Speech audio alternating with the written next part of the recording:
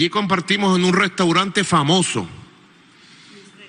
Nusret. Le envío desde aquí un saludo a Nusret.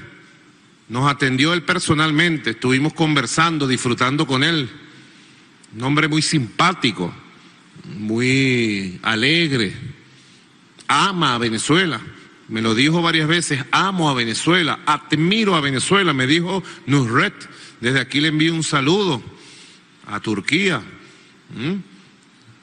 Ahí estuvimos compartiendo con él, nos mostró un museo que se encuentra ahí donde comimos junto a él, museo de piezas del Imperio Otomano, piezas con 700 años de antigüedad.